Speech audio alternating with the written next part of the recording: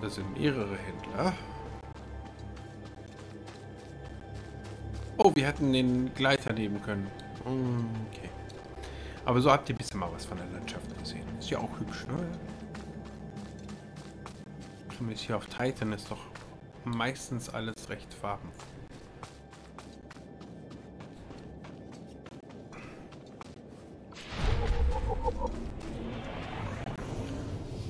Codex-Eintrag 505 Erfahrung.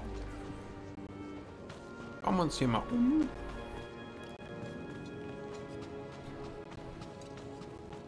Mhm. Hier wären wir gelandet, wenn ich schlau gewesen wäre. Na, aber ich war nicht schlau.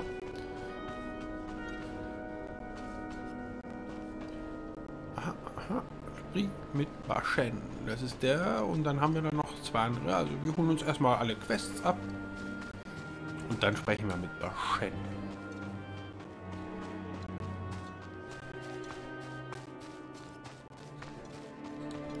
Noch mehr junge Jedi in Kalikori. So, so. Ich bin Julef Fahn, Mhm. Meister der Rituale. Willkommen. Ihr wollt an der Zeremonie teilnehmen? Seid ihr euch der Gefahren bewusst? was für eine Zeremonie? Tut mir leid, ich weiß nicht, wovon ihr sprecht. Dann hat man euch noch nichts erzählt. Nö, Entschuldigt. macht nichts. Viele eurer Freunde, die Padawane, kommen nach Kalikori, um das Ritual des Übergangs zu vollziehen. Mhm. Diejenigen, die die Zeremonie bestehen, werden mit einer Audienz bei Kolovisch belohnt, um Mhm. ihre Weisheit und ihre Geschenke zu empfangen. Alles klar. Padawaner machen das? Erzählt mir mehr. Wer ist Kolovisch? Worum geht es in dieser Zeremonie? Kolovisch lebt oben in den Bergen. Mhm. Einst war sie unsere Anführerin. Jetzt leitet und beschützt sie uns. Um die Zeremonie abzuschließen, müsst ihr die tausend Stufen zu ihrem Zuhause erklimmen. Ihr müsst eine Fackel bei euch tragen und die Signale entlang des Pfads anzünden. Okay, Ihr müsst die Flamme vor den Bestien und den Fleischräubern beschützen. okay, So werdet ihr euren Wert beweisen. okay. Wenn ihr wollt, kann ich die Fackel entzünden. Sie brennt nur für kurze Zeit. Aber wenn ihr würdig seid, wird es reichen. Okay. Na gut. Ich bin bereit, die Flamme zu tragen. Dann geht und entzündet jedes der Signalfeuer entlang des Gebirgspfades. Wenn ihr das Ende erreicht, werdet ihr Kolovisch begegnen. Alles klar, Chef. Gut, äh, hat keine zeitliche Begrenzung, auch wenn es sich gerade ein bisschen so angehört hat. Ich habe mir Sorgen gemacht. Äh, also gehen wir uns die anderen Quests alle in Ruhe abholen.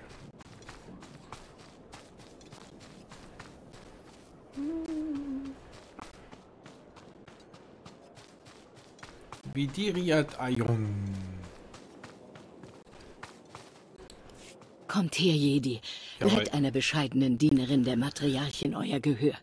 Ich versichere euch, eure anderen Angelegenheiten können warten. Alles klar. Mein. Name ist Vedariat Ayun. Ich kümmere mich um die Körper und Seelen der Dorfbewohner und ich habe eine Bitte. Ich spreche von den Fleischräubern. Sie werden in letzter. Zeit stärker. Und kalt. ich weiß wieso. Äh, ich spreche von den Fleischräubern, sie werden stärker und ich weiß wieso. Okay. Ja, wir haben ja gesehen, die greifen jetzt auch schon die Jedi an. Das ja, und wahrscheinlich. Wie weiß wieso wäre das doch von Interesse für uns. Okay. Die sind keine Gefahr für die Jedi, stimmt ja nicht. Könnte man aber sagen, wenn man will. Was? Äh, ja, wir hören einfach. Mein Interesse ist geweckt. Die Fleischräuber haben Experimente gemacht. Sie haben ein Elixier entwickelt, das sie unbändig macht. Wenn sie es trinken, werden sie rasend. Sie bekommen Schaum um den Mund und stürzen sich wie hungrige Tiere auf ihre Beute. Es ist eine widerwärtige Medizin. Primitiv und unheilvoll. Okay. Äh. Wie konnten die Fleischräuber so etwas nur erlernen? Ich habe keine Ahnung. Derartige Bosheit ist für uns unverständlich. Wir sind zu wenige, um die Fleischräuber direkt anzugreifen. Nicht einmal die Jedi könnten diese Ungeheuer auslöschen. Aber mit Hilfe unserer Krieger könnten die Jedi die Höhlen der Fleischräuber erreichen und die Bottiche mit dem Elixier vernichten. werde ich dafür bezahlt, äh, das so als Kopfgeldjäger oder Schmuggler wenn ihr das manchmal macht, dann ähm, schaltet ihr mehr Geld manchmal als Belohnung frei. Also ist gar nicht mal so eine schlechte Antwort, aber als Jedi. Ich sorge dafür, dass es geschieht. Ich danke euch dafür. Also, Odumis könnten Meer weiß, Jedi wo die Bottiche lagern. Finde, Er ist unser. Wachhauptmann. Redet mit ihm, um die Geheimnisse der Räuber zu erfahren. So. Ja, gut. Oh, heyo, heyo.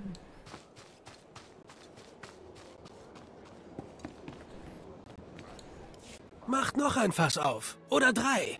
Das Fest findet nur einmal im Jahr statt. Und unser Lager kann es verkraften. Ist auch gut so. Wir haben einen ungebetenen Gast. Wieso ungebeten? Hey, Ich sehe schon. Fest des Erwachens, Jedi. Ihr seid hier nicht willkommen. Ihr feiert ein Fest? Was ist das Fest des Erwachens? Klingt lustig. Ist es. Und Jedi sind nicht eingeladen. Was wollt ihr? Ja, komm, wir sind nett zu denen. Vielleicht erweicht das. Jemand hat ein Jedi-Relikt aus den Narels entfernt. Einen Holoprojektor. Ich hatte gehofft, ihr hättet ihn gesehen. Ein Holoprojektor. Ja, ich weiß, was ihr meint. Nalen hat einen gefunden. Nalen Raloch. Vielleicht habt ihr von ihm gehört.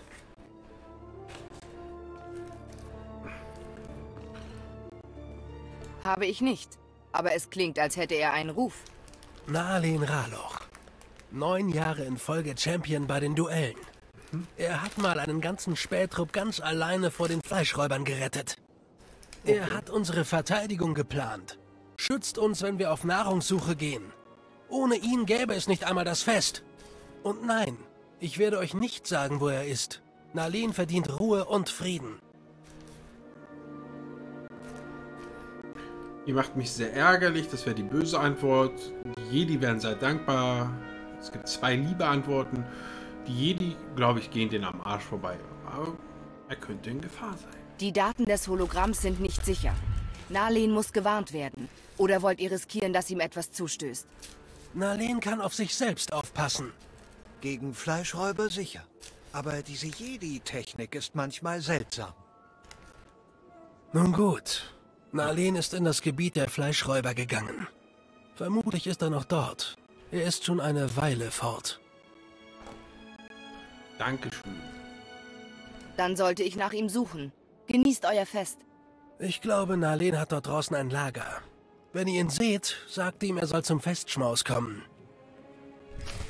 Alles klar.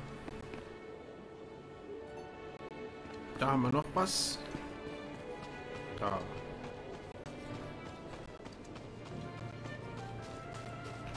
Äh. Ah, dahin. Bei Odumis Meer. Dem Bruder von Odumis weniger. Jedi, ich glaube, ich weiß, was euch herführt.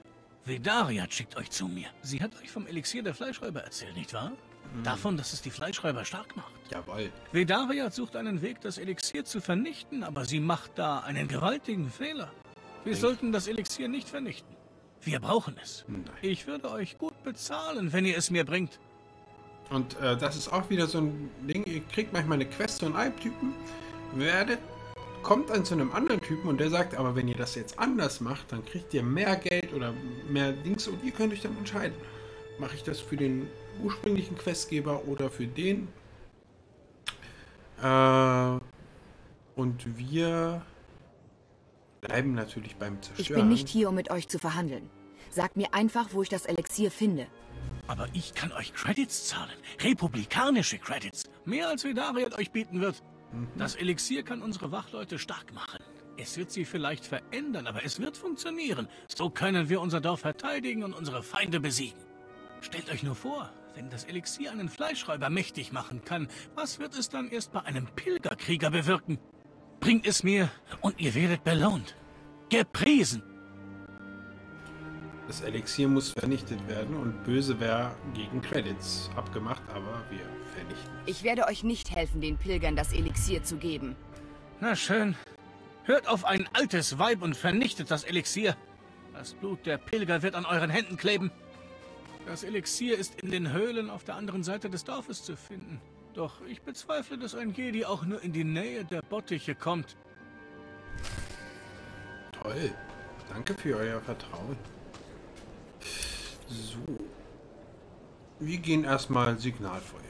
Fahrt der 1000 Schritte, das ist das erste und dann machen wir das andere.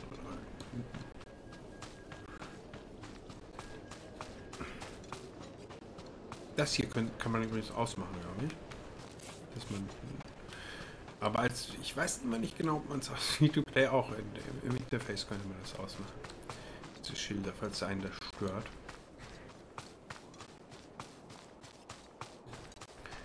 Hier wäre die erste Fackel.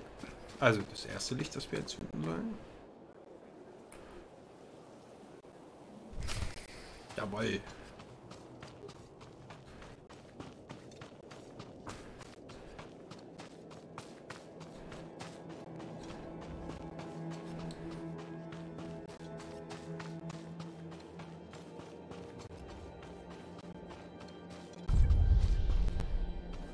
Der Matriarchengipfel.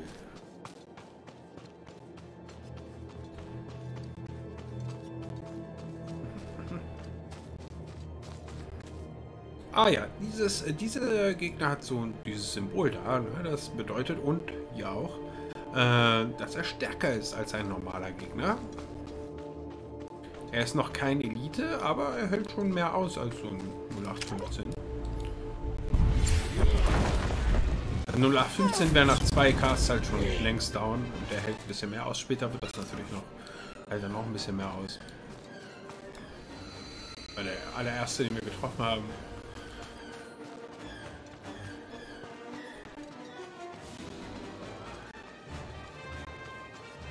Normalerweise sollten hier Gegner sein, aber ich glaube, jemand anderes ist hier auch unterwegs. Und hat die alle schon geplättet.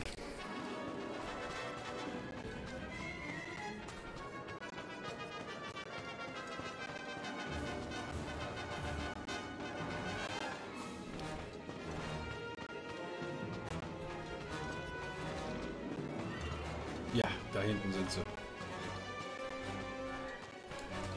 Aber den haben sie umgangen, weil sie keinen Bock hatten. Dann kümmern wir uns auch. Immerhin Erfahrung.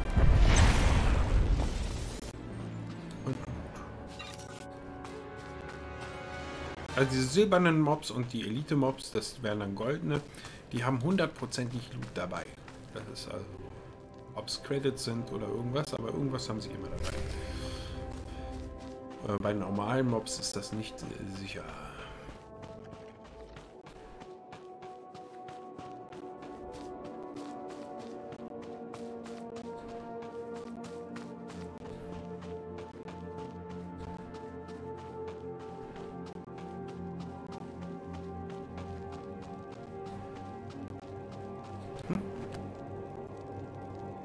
Geht das auch, wenn es schon angezündet ist? Ja. Sprich mit Kolovisch. Lebt hier als Einsiedlerin scheinbar.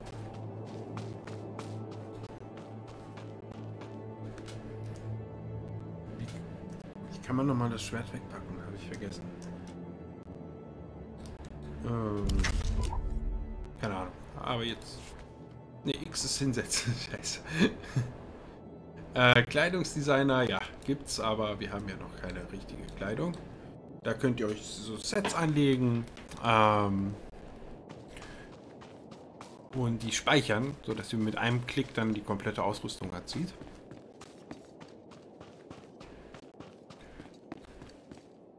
Oh, Kolo scheint oben zu sein.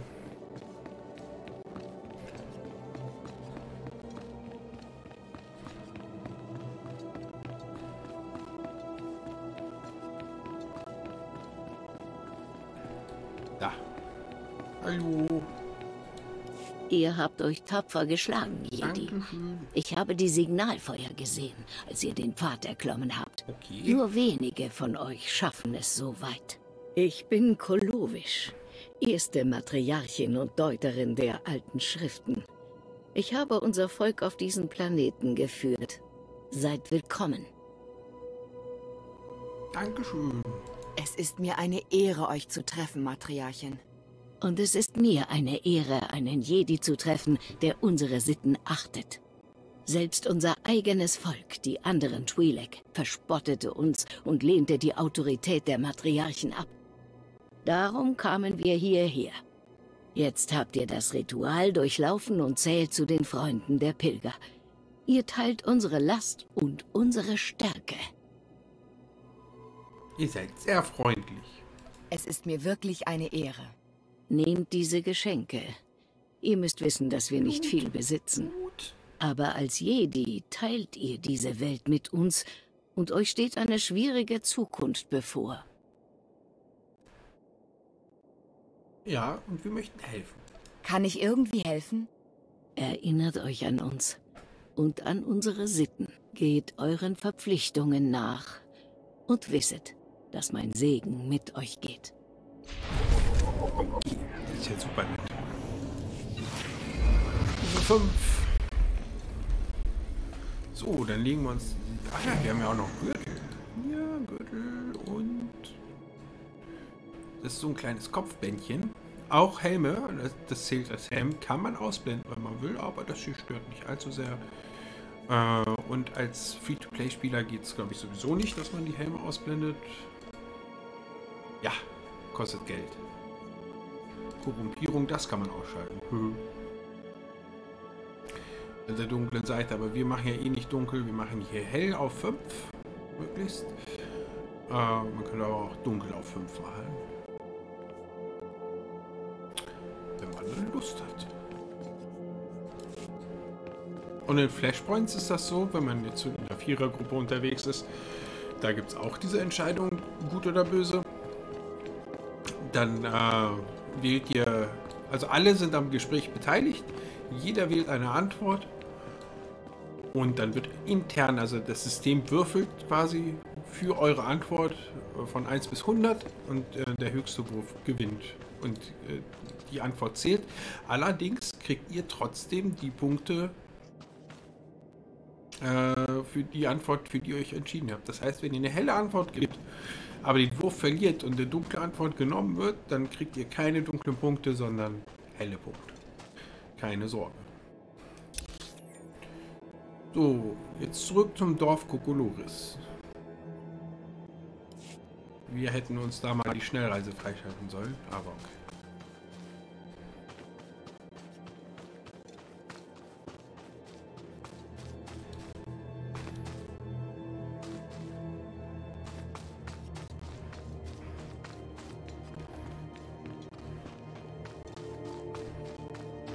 Jawohl.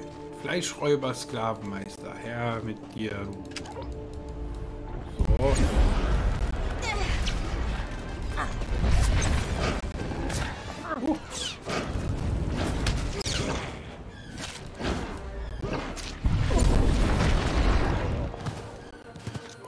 Na, die haben alle irgendwie ein Cast gebraucht und der hat irgendwie vier Casts gebraucht. Bisschen stärker, der Kleine.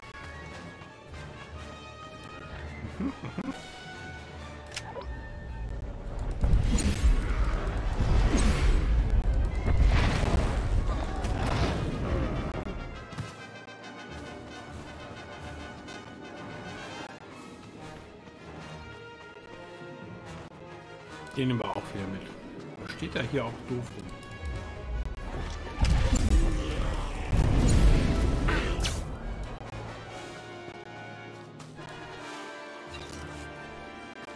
Straßenweste.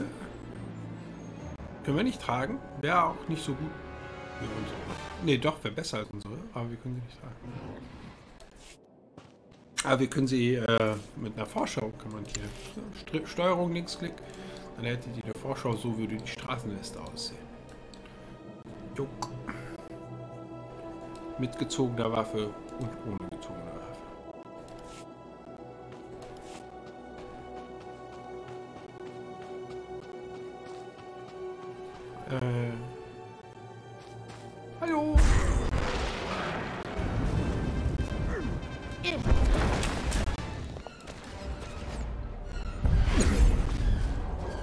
Der war so geschockt, dass er im Stehen gestorben ist.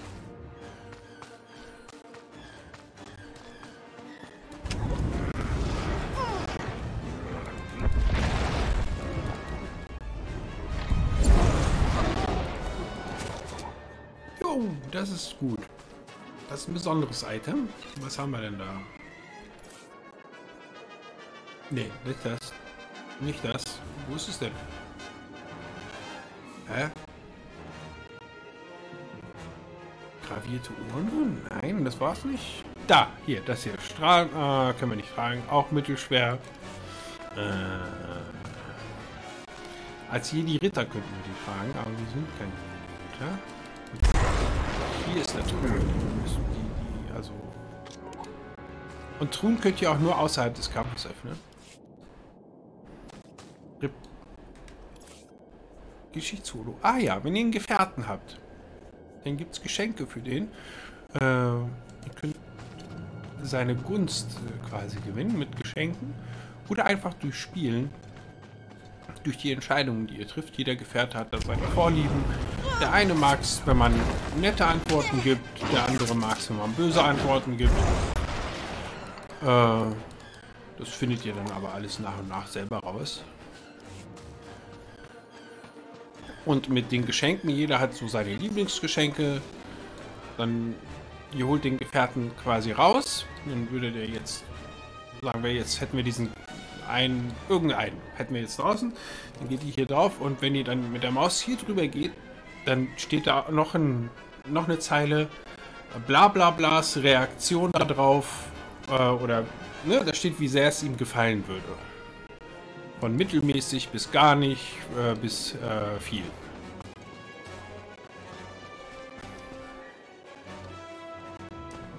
Und die kann man nicht nur finden, die kann man auch kaufen und einige Berufe finden die auch. Und ja, gibt viele Möglichkeiten da dran zu kommen. Und wenn äh, je mehr euch euer Gefährte mag, desto mehr Schaden macht er, desto mehr Leben hat er, desto mehr heilt er. Äh, und desto schneller erledigt er Aufträge, also Herstellungsaufträge oder Sammelaufträge. Und die kritische Trefferchance. Es gibt bei Berufen auch eine kritische Trefferchance dass man dann zum Beispiel zwei anstatt einem nur herstellt, äh, die steigt auch. Also alles im Allen lohnt sich das, das aufs Maximum zu bringen.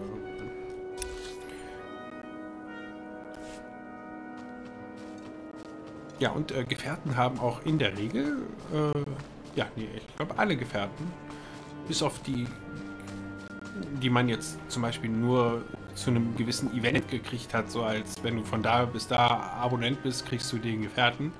Bis auf die, also die ganz normalen Gefährten zumindest, haben alle eigene Quests, die man machen sollte und die dann auch äh, Gunst bringen und vor allem äh, meistens auch Spaß machen.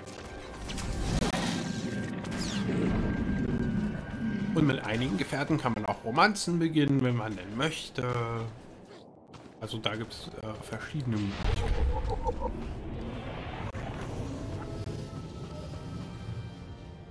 Huch, was höre ich denn da? Ich dachte, hier drin. Alles nur der Wind. So. Hallo. Bin zu Besuch. Und wir haben eine Bonusquest 15 von denen. Und wir haben Erfolg freigeschaltet. Geht weg. Was tut hier meine Sachen? Verschwinde. Hm.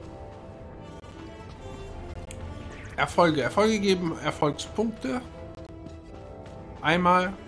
Oh, manche mögen das ja zu sammeln. Aber äh, es gibt auch Erfolge, die euch Kartellmünzen einbringen. So 20 Kartellmünzen. Das sind nicht viele, aber es gibt welche. Und, äh, so kann man auch an ein paar, wenigstens ein paar kostenlose Kartellmünzen rankommen. Und die meisten davon erledigt man eh nebenbei, also.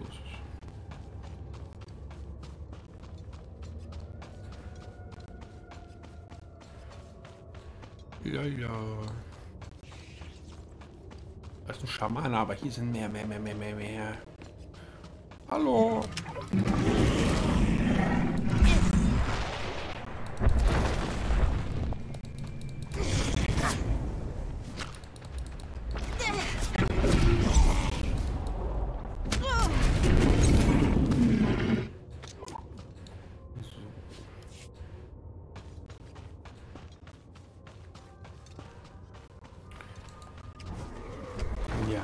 Wenn ihr solche Leute habt, ne, die äh, euch die Mobs äh, versuchen zu klauen oder äh, was weiß ich was, wenn euch das zu viel wird, könnt ihr normalerweise auch die Instanz wechseln.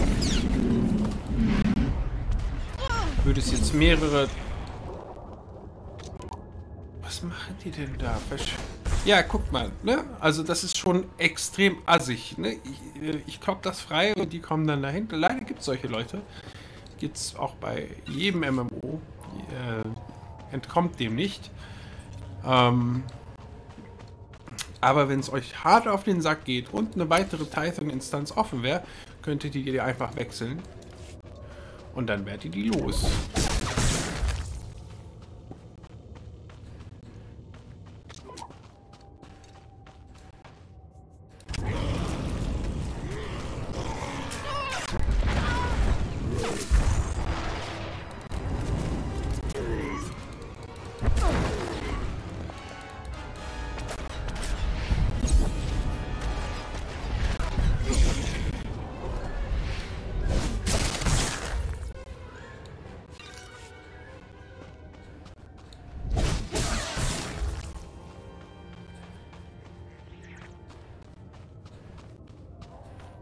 Aber während die da,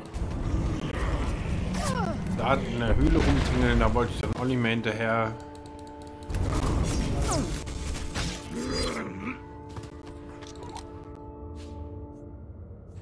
Aha, was haben wir denn da? Ein, ein Elite. Ich weiß, Level 9, okay, den schaffen wir nicht. Level 9 Elite ist doch ein bisschen zu hart. Den lassen wir erstmal. Bis wir einen Begleiter haben und dann ist auch er fällig.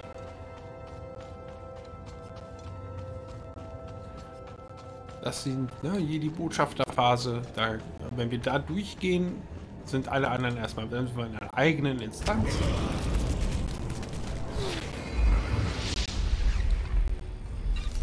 So, und dieser Jan Kato, der mir gerade das geklaut hat, macht hier gerade Werbung für seine Firestorm-Linie.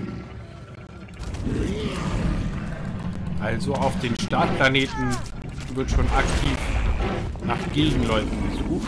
Ihr könnt allerdings auch, wenn ihr jetzt nicht gerade Free-to-Play seid, eine eigene Gilde aufmachen. Alles, was ihr dazu braucht, ist ein bisschen Credits. Ich glaube 5000 Credits. Äh, und vier Leute, die unterschreiben. Die können auch gleich wieder rausgehen, wenn, wenn ihr die nicht Aber im Optimalfall macht man ja eine Gilde, damit auch die Leute da sind.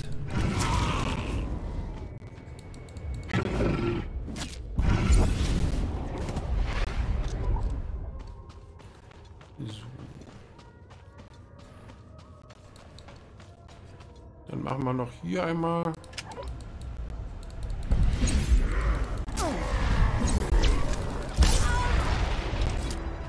Bevor die kommen, mache ich das hier kaputt.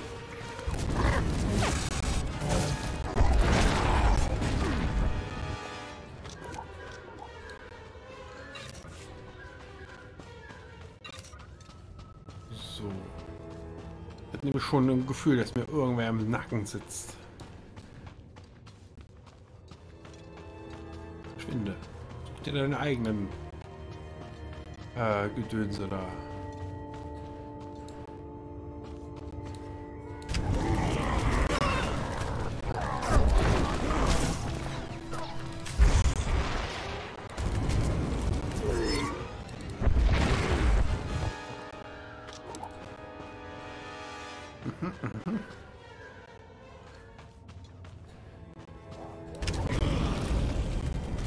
Sollte hier auch gleich wieder so ein Topf auftauchen.